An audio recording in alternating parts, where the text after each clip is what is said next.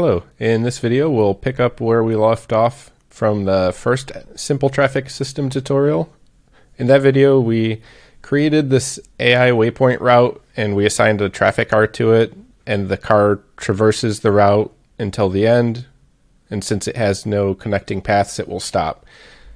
So what we'll do in this video is we'll learn how we can set up additional routes and connect them together.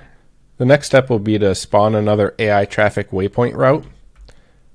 And again, I'll hold shift and just click on the collider in the scene view to spawn these points. All of these points are just game objects, so you can move them around and adjust them into the best position. You can also hold shift and control to insert a point.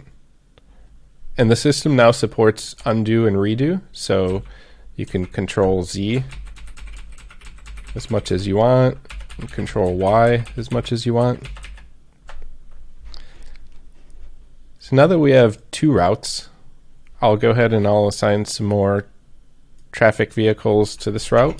I'll give this route 4. What I want to do is connect these two routes together. And there's a, a simple tool for that we'll select configure mode route connector and then we'll press load routes.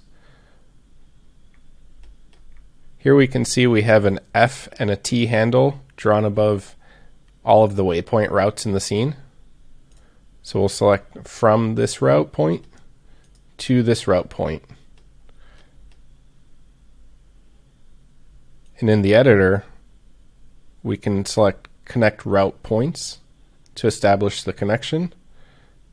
Now we see a gizmo line being drawn between those points. I'll go ahead and press play. Now we have four vehicles on our new route, one on our old, and these vehicles will just continue on to the first route that we created, and they'll all stop for each other.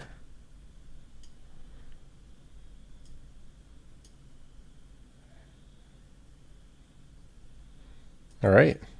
And that's it. That's how you connect routes together. I'll see you in the next video.